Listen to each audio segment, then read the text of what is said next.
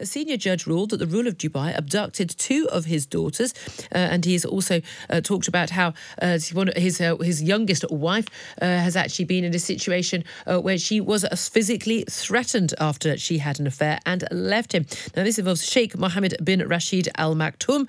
He was found to have waged a campaign of fear and intimidation on his youngest wife of six, that's Princess Haya, after she began an affair with a British bodyguard and fled to the UK. Let's talk about this with Mark Stephens. He's an extradition expert and lawyer from Howard Kennedy and joins me in the studio. Good morning to you. Morning, Julia. Um, this case has been running for uh, 10 months in the family courts. We finally got more of the details and um, they are extraordinary. I mean, this we are in Hollywood film territory here, are we not? And this involves you know, one of the richest men in the world, who also just happens, probably through the race course, the race horses, to be a good friend of the Queen and the other members of the royal family. So there are implications here. But um, is this just a you know a, a family court battle with no real significance, or is there more to talk about here? There's much more to talk about here. Uh, we've got a sort of almost a, a history of uh, Sheikh Maktoum uh, with a whole um, colourful palette of uh, allegations. Uh, so one of his daughters tried to escape, and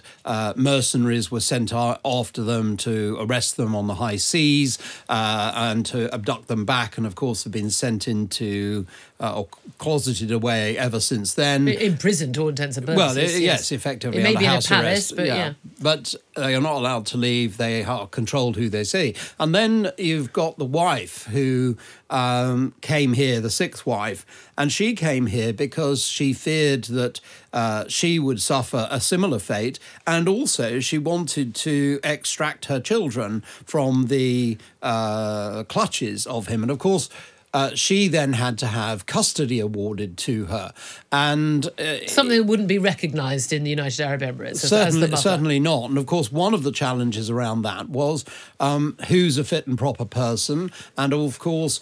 Um, the judgment was really quite important. So the, the Sheikh Maktoum did not turn up uh, to the hearing. He did not give evidence uh, and he wasn't cross-examined. So as a consequence, the he said, "I want this case to be dropped." In fact, what happened was it's it went ahead at uh, Princess Haya's instance, and she said, "I need a clear judgment so that the police, the security forces, and uh, the uh, courts of the United Kingdom understand and can provide protection not only to myself but to my children because."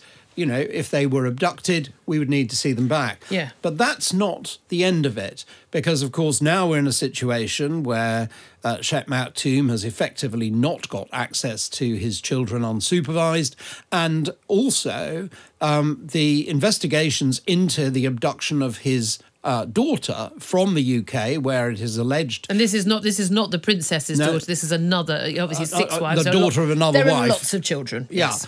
and she was apparently uh, drugged and abducted constructed by men with guns uh, from uh, the Cambridgeshire area and taken back. And of course, that is a breach of the criminal law. Uh, the uh, Director of Public Prosecutions is uh, susceptible to a judicial review for not uh, pursuing that. And of course, Sheikh Maktoum, next time he's down at Ascot or next week at Cheltenham, could easily be arrested uh, and brought in for interview yep. in relation to these alleged I'm wondering crimes. if he will actually come to the country. I mean, again, one of the concerns about the princess who uh, who did uh, uh who, who, who, involving her her own child was Jalila, now 12. At the age of 11, she said there were threats that her child was going to be married off to Mohammed bin Salman, uh, was the crown prince of Saudi Arabia, the man who basically, who we kidding, ordered the murder and dismemberment uh, of the journalist Jamal Khashoggi in the, the, the in Istanbul, which of course, I mean, international investigations have shown that he was very much involved in that. Uh, he's 34 years old. He's already got one wife. Uh, big concern about this. Now, the court said they wasn't didn't actually have evidence to conclude that that was 100% the case. But given again the abduction of two older daughters, um, uh, this Princess Shamsa and Princess Latifa, uh, and who remain uh, deprived of their liberty, um, and that was a finding by by the judge. Um, obviously reasonable concerns that she had. But I think there's another point here which we shouldn't lose, which is about the fact that this young child uh, was effectively being offered in marriage, but not a love marriage. Mm. This was an arranged marriage. This is positively medieval yeah. when, you know, po- kings and potentates across Europe would send uh, yeah. their daughters and sons to be married, to intermarry amongst royal families. That is what is being suggested yeah. here, which of course is totally inappropriate because it's not the free will of the individual being sent into a bonded marriage. Yeah, exactly. And, and in terms of what happens now, though, I mean, this isn't just about a family matter. This isn't about this woman getting protection. Um, I mean, I would say as a general rule, don't marry someone who's already got five other wives. I'm going out there on a limb, ladies. Maybe, maybe this is a good hint to you. No matter how rich he is, maybe just maybe uh, he might have a different idea about the uh, the equality in the marriage than you might have. Um, but but um, but this this does have implications for you know, international relations because we know. I mean, look, it's one thing, isn't it, for the Queen to go and sort of shake hands with uh, in Saudi Arabia and, and Prince Charles to go off, you know, to funerals and pay tribute. These are crucial allies in the Middle East. Uh, we, we're not choosing these people. We don't have to like these people. That's just part of the diplomatic job.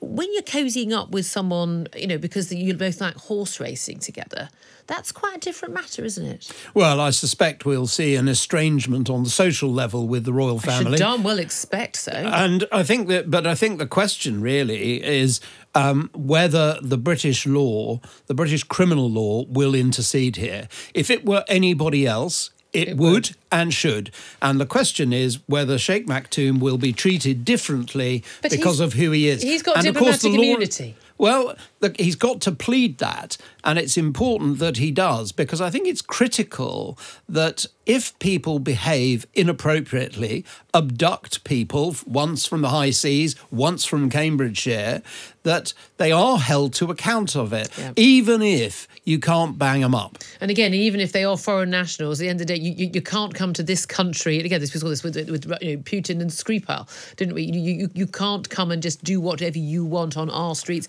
where our law rules. Yes, we have jurisdiction on criminal acts that yeah. happened here. So obviously, mm. there's nothing we can do about the case in the Indian Ocean. But in relation to criminal acts in yeah. Cambridgeshire or allegations of it, they should be investigated. Okay. They should be prosecuted. Okay. Um, likelihood of that happening? Between zero percent and hundred percent. I think they'll come under a lot of pressure. Okay, interesting. I, would love to see it. I just assume we're not going to see the Sheikh in this country anymore, and I'm perfectly happy with that. Thank you.